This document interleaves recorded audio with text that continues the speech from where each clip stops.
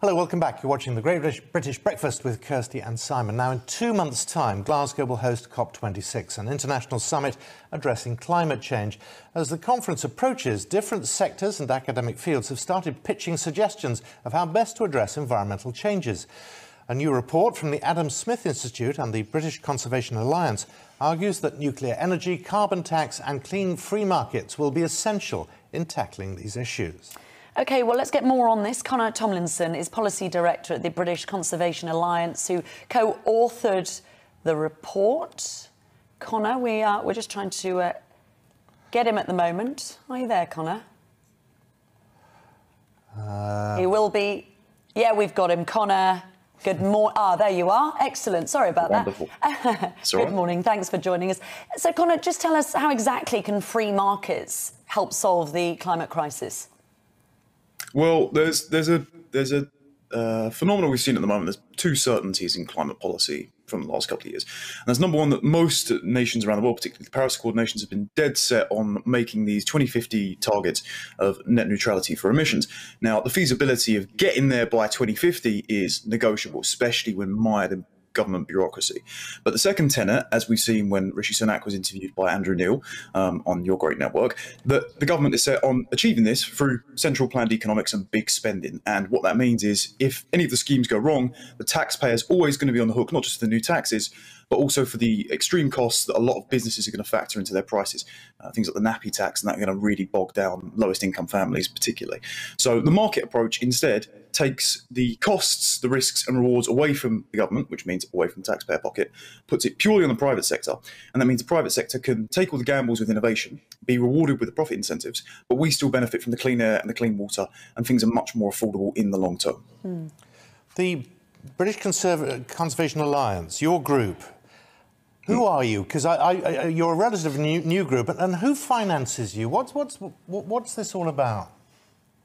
Well, so we are the largest campus-based uh, market environmentalist uh, network in the country. We've got a uh, large presence at quite a few UK universities, and we're pretty much volunteer-led entirely. I mean, I've actually never taken payment for any of the work that I've done since I helped set it up with uh, a few of my friends, and we uh, try and push market environmentalist ideas into the uh, general policy sphere, given that currently the environmental debate has been monopolised, as people have seen, with all of the Extinction Rebellion dancing around and doing really useful things uptown for the last couple of weeks.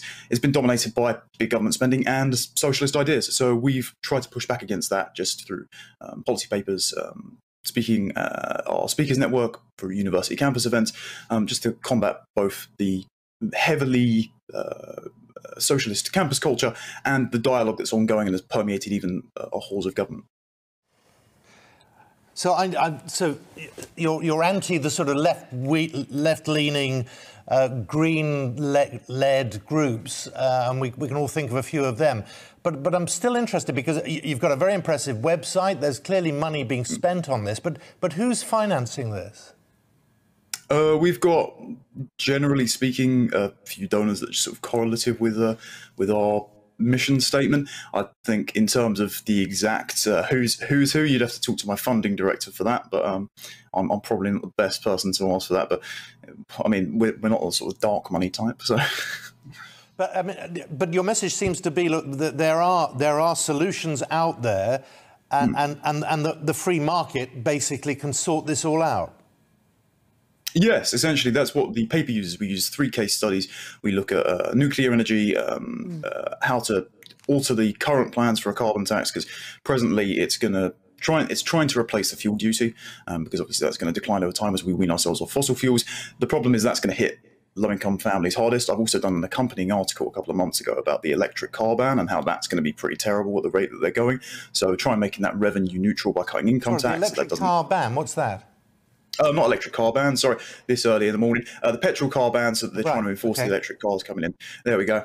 See, you got me up too early. Um, and the third one would be uh, clean free trade agreements. So we're entering, I know, the Trans Pacific Partnership. Liz Truss has been doing a lot of work on that. One of the main problems with that is, though, it's got investor state uh, disclosure agreement clauses, and that means that we're on the hook for when we want to try and disconnect from fossil fuels. We've got to buy them from certain member countries, and so we're going to be subject to lawsuits like Canada have been, and, and when Biden cancelled the Keystone XL pipeline again, that they're going to be, uh, and also joining things like ACCTS, the Agreement on Climate Change.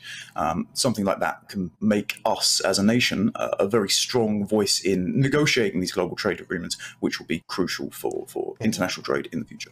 I, I mean, I don't want to come over as an old grump, um, and because obviously you, you, you're young, you're young people. Uh, with, with, a fresh approach to all this, and, and you're pushing the, the, nuclear industry side of this. They're not financing you in any way, are they? No, well, not as, not as far as I know. okay, uh, and, and, and how many how many members are there? Because you're, you're, you I think you describe yourself as sort of a, a millennial group. Yes, yeah, we're, we're sort of millennial Gen Z. We've, we've got uh, we've got some thirty year olds on staff that I, I, make fun of for being ancient, even though I'm definitely feeling it after lockdown. I can tell you. Um, we've got a I think there's seven or eight of us in our board of directors. If I've forgotten anyone, I'll be I'll be lambasted. And we've got a university. We've got members of about seventy British universities at this point. So we've expanded pretty quickly, um, and it's pretty lovely to have everyone on staff on. To be honest, because over lockdown, of course, the student experience was completely crippled, um, and we were all sat indoors doing our work, and we all became quite a close knit group. So uh, uh, I'm sure I'm the least least favourable member on staff if you ask around, but uh, I've got high opinions of them all. So.